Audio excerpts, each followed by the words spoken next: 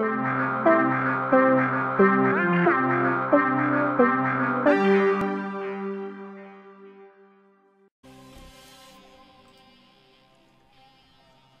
everybody, this is Curtis from PSN Stores, and today we are looking at Tower of Guns. Uh, this game came out this week. It is one of the PlayStation Plus games, so you can go ahead and grab it for free uh, if you're a member of Plus. Uh, but we're just gonna get in there, and uh, this is a uh, first-person shooter roguelike. So, what that means, obviously, is that you know every every time you play, uh, once you die, that is it. Um, you start from the beginning.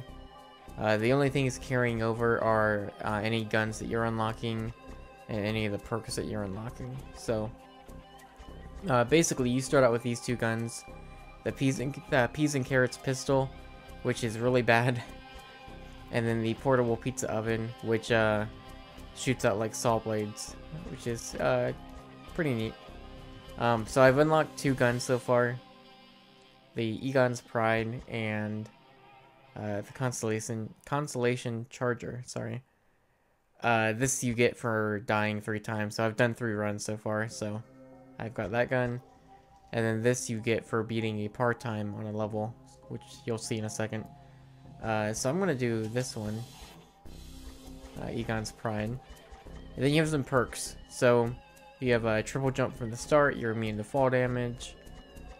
Uh, stuff like that. You see that I can see what I need to do to unlock the other perks. So like firing 2,999 shots.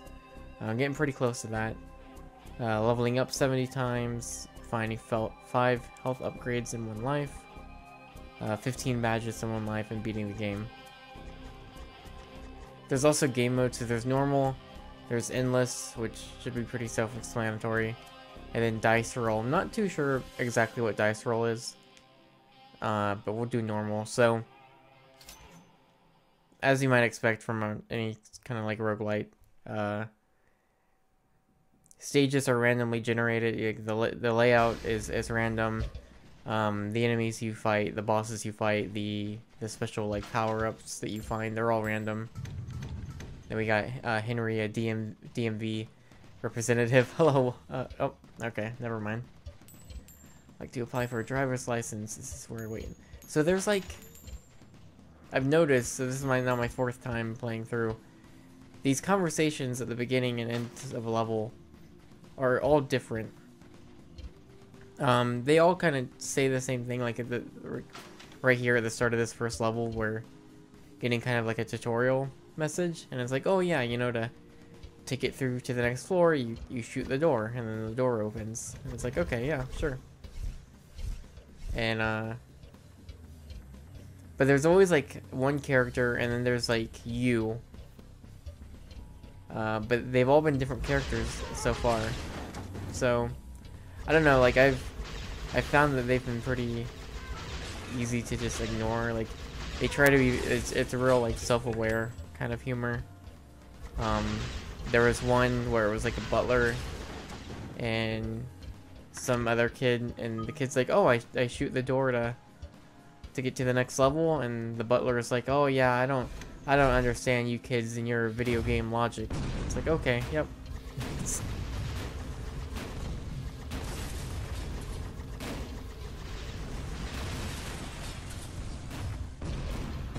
Alright, so the blue orbs that drop, uh, you collect those and and that is how you level up. Uh, you're leveling up your gun.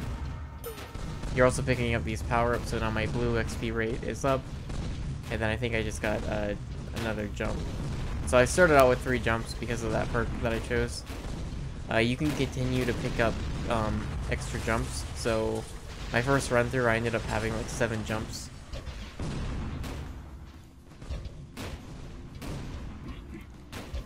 See there, the I have 15 coins right now. You'll find like little shops where you can buy, there's a specific power-up that you can buy from it. Usually it's around like 50 to 70 coins. Uh, obviously the red orbs are your health.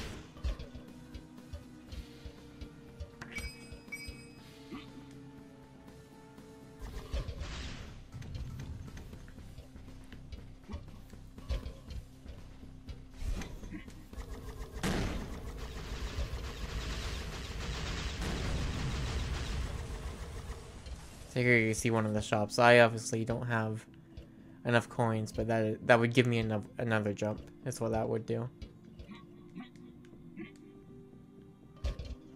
Uh, so yeah, like it's you know, pretty kind of simple premise.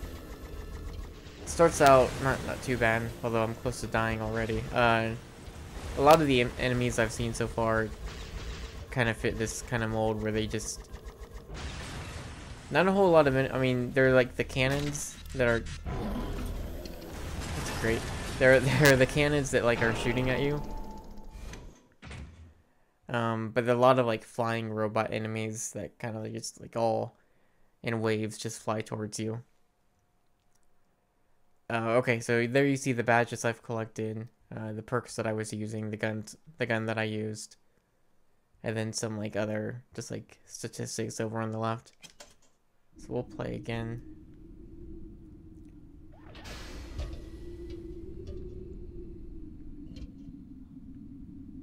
This is alright. This is Cake Town. I've counted up your wins and losses and it looks like you, this is your fifth run. Okay It's the point where people could do with a bit of a surprise. Use these gifts to help you have a good fifth run. Huh.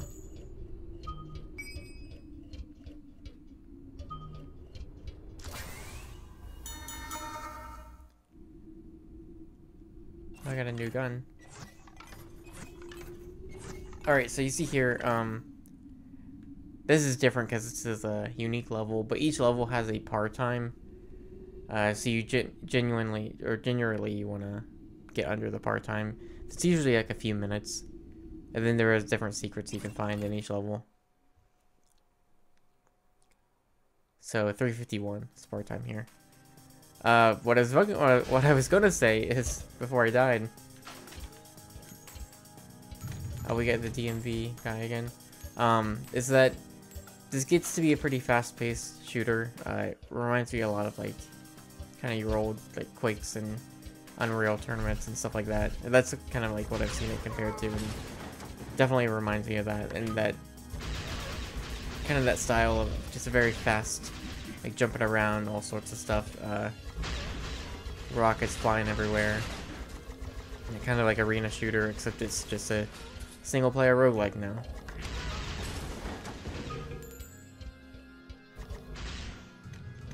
On the top right, um, it says no item equipped. I did at least on my first run, I did find an item, and it was... It was like a mystery box, and so every time I was able to use it, which is when those meters fill up on, on the right, uh, like it gave me a different effect each time.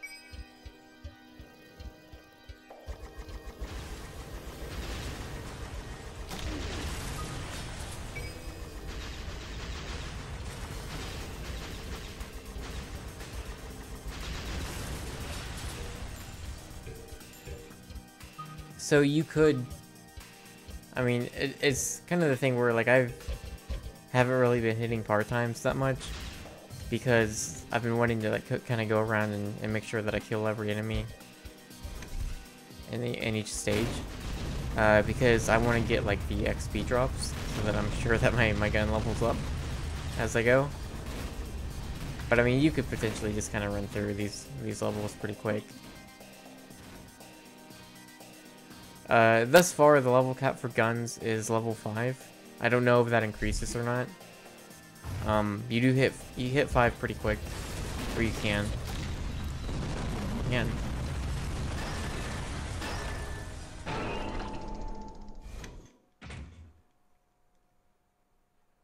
Oh, I guess that gives us a chance to check out some other guns. Um, my first run was about 35 to 40 minutes. I got pretty far. I don't know if I got to the... I, I died on a boss. Um, I'm not sure if it was the final boss or not. I don't know. And I was reading it, and it seems like this is something that you can beat within an hour. Uh, granted, it might take you a long time to do because you do have, you know, once you die, you got you you have to start over. So, and it seems like it can be a pretty tough game. So, uh, let's see. We just unlocked this hand cannon, so let's try that. We'll do. Uh, I don't know. I like the triple jumps. That's pretty nice to start with. But we'll do. Curious what this does. The too young to die.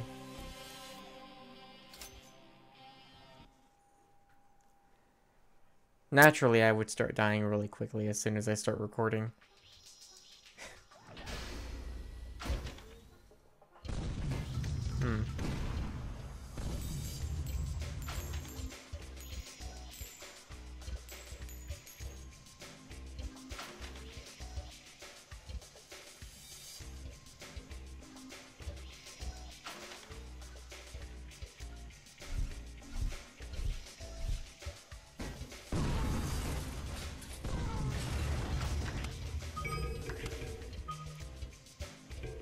You start the game, a random plot is chosen, and that's the game story.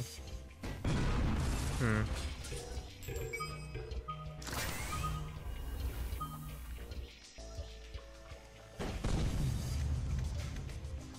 Yeah, it's it's all very uh very self-aware.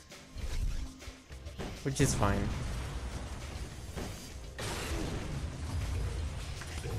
But if you don't care about that, that it seems like it's pretty easy to just ignore.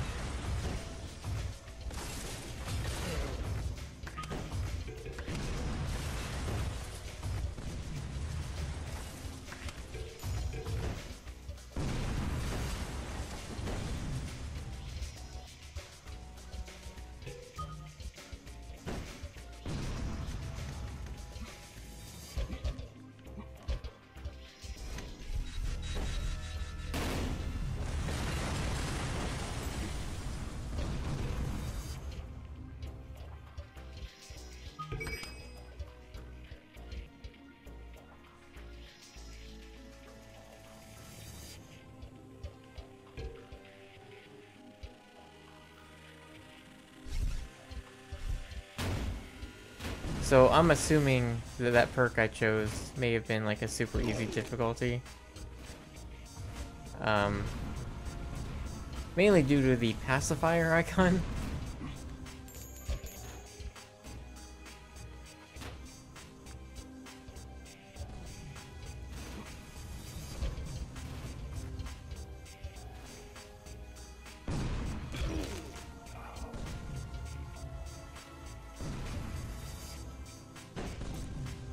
It also seems like I'm taking a lot less damage, though.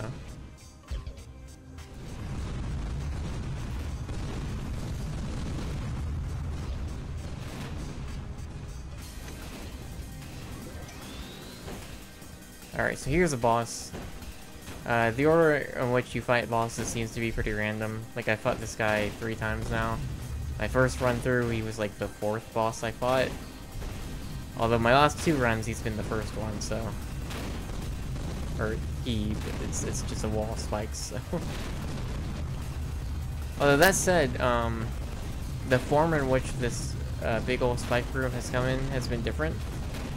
So, this is uh, the second time that I fought it, and it's been like, it's been a room like this that kind of closes in on you. But the first time I, I came up against it, it was a, it was a more open room, and it was, uh, it was like multiple like walls that were rotating within the room that had spikes on them. So I don't know if that's the same for every boss, like if every boss has like a different kind of type of form to it. I haven't seen enough multiple times to know. But I guess we'll see.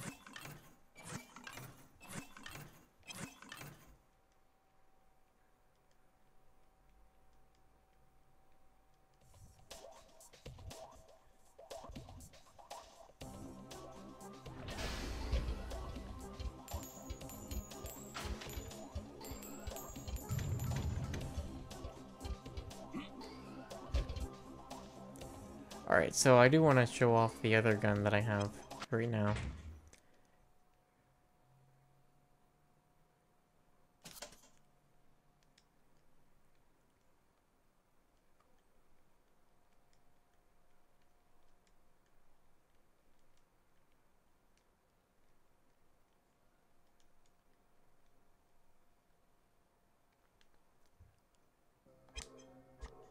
So we will do Constellation Charger.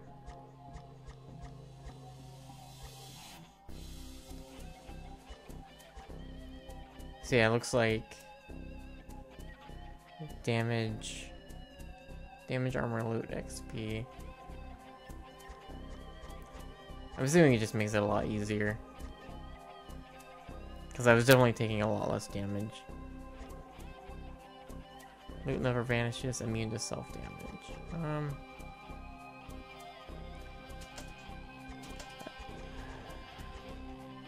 Well, these are all pretty, like, self-explanatory, so I'm going to stick to the triple jump. And let's do, let's do dice roll. So I've done this once, I didn't really notice,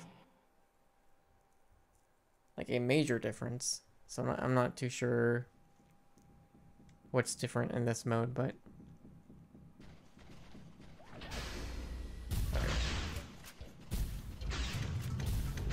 That's, this is kind of cool. Okay.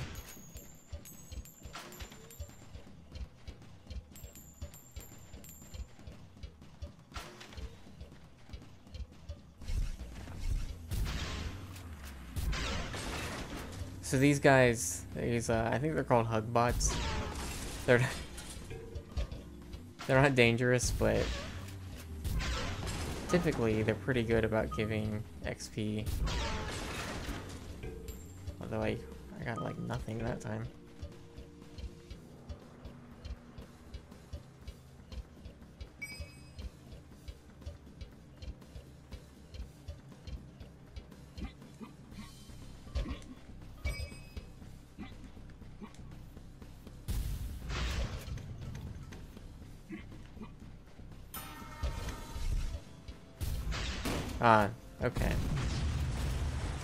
I must not have noticed that the first time. So, plus 100 money.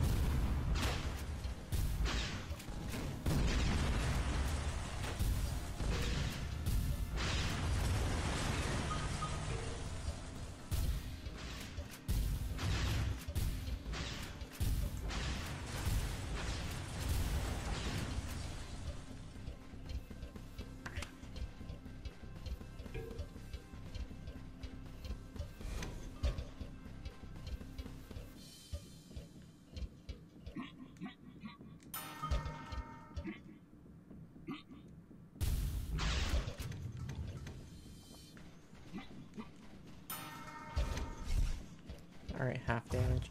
Okay, so that's what dice roll is. Uh, I did play it once. I didn't know. I guess I didn't notice the that notification there at the bottom.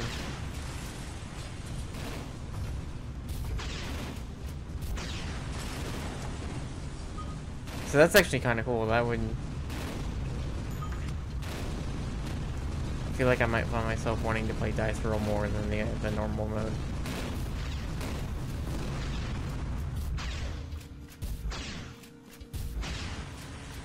Just just due to the fact that, you know, like each stage is gonna have even this each room.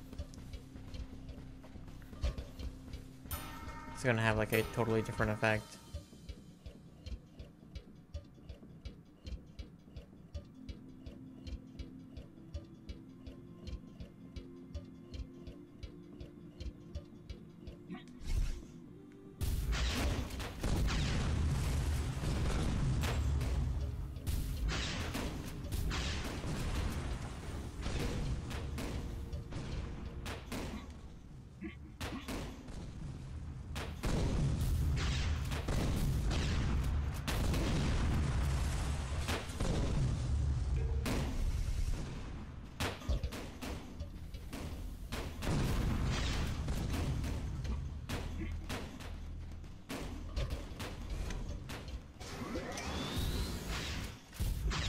So this is also a, a new boss I've not seen before. I'm gonna die very quickly.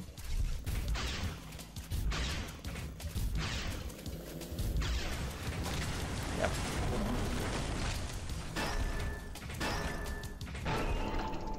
I like that it keeps a tally of how many runs you've done. So I'm 0 for 6. Uh, yeah, then it shows your lifespan, how much money uh, you had, the diff the final difficulty is set at 104.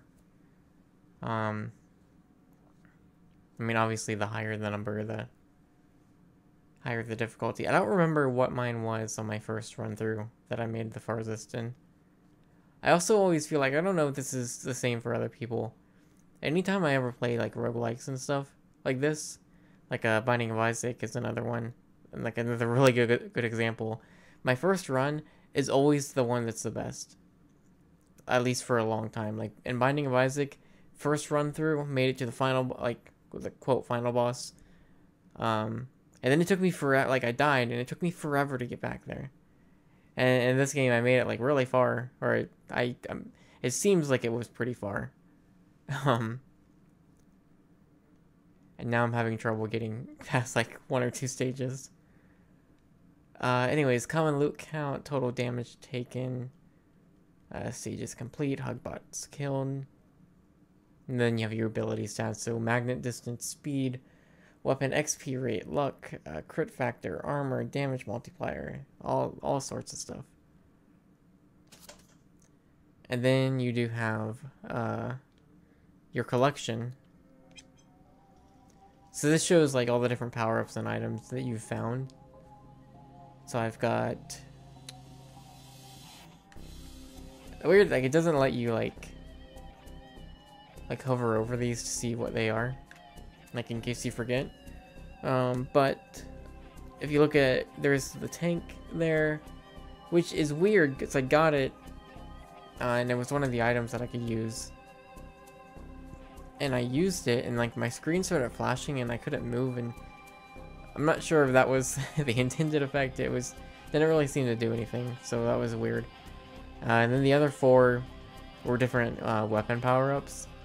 So the one with the bullet that has like fire around it, um, I believe that caused like an explosion whenever my shots like hit uh, the wall or the ground.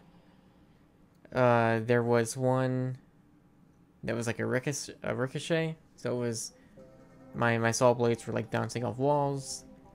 Uh, the one with three bullets like made it like a machine gun, so it was firing a lot faster. Uh, and the other one, I don't remember which one that did or what that did. And then, and then there you see some more stats. Some shots fired, ro robots killed, hugbots slaughtered. Uh, my best, my record lifespan was uh, 34 minutes. Average, it's been 8 minutes. Or about 9. Best run, 4 stages completed. So I'm not sure how many stages there are. I've made it to, to 5 at least. And rank. It's opportunistic, accident-prone corporal. Okay.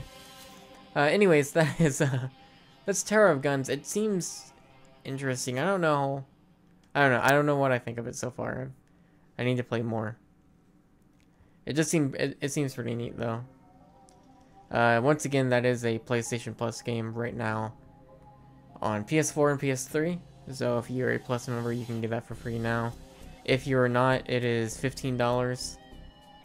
So if it looks interesting to you, I'd check it out. And I mean, again, if you if you have Plus, you might as well at least give it a shot. Uh, that's all I got. Thanks for watching, and I'll see you all later.